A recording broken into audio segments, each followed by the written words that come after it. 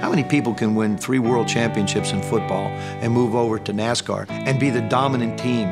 One person, Joe Gibbs. The world champion Washington Redskins. He won three Super Bowls, three different quarterbacks. Let's hit it rolling now. Let's earn this thing today. Best head coach of all time.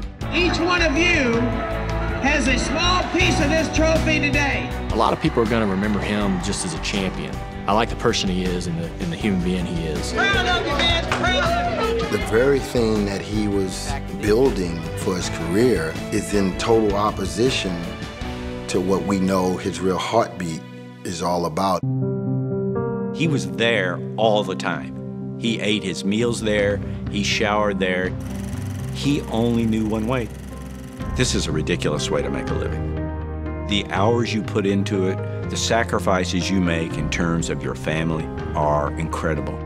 The thing I second guessed the most about my life was the time I missed being with family. The greatest thing we're going to leave on this earth is our two boys. Coaching is some of the greatest rewards you can have in life. And it can be also some of the toughest things that you ever go through.